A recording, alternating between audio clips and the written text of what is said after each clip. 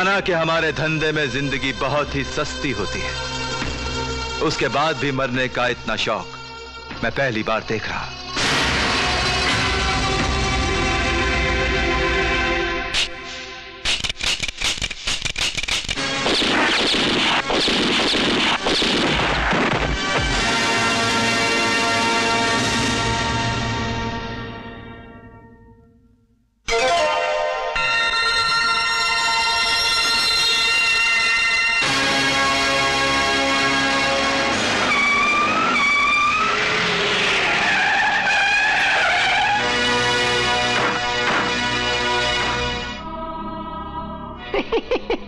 हरामजादे, तेरी इन भूरी आँखों में अक्सर मैंने मक्कारी देखी।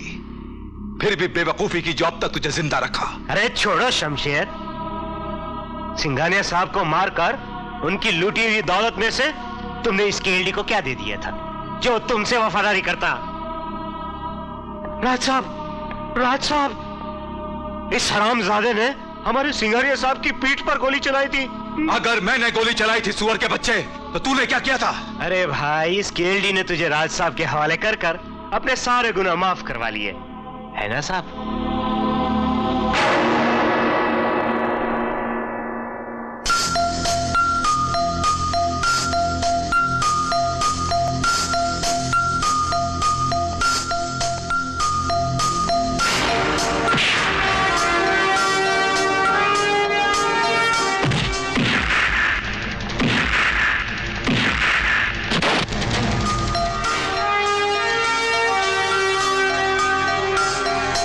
तूने मेरे पाप के पीठ पे वार किया था।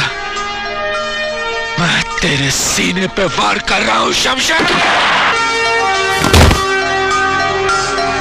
साला मेरे को कुत्ता समझता था।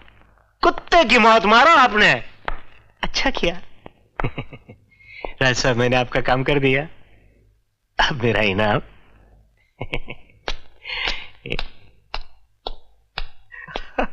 ला ला भाई ला मैं उठा लेता हूँ, ला।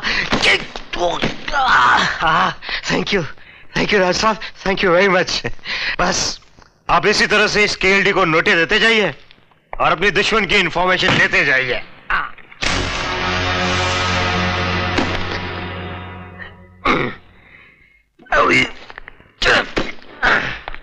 कांति तूने मेरे बाप के जिस्म के किस हिस्से पर गोली मारा था रे?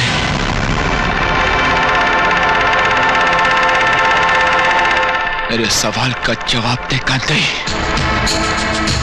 मेरे बाप के जिस्म के किस हिस्से पर गोली चलाई थी किस हिस्से पर गोली चलाई थी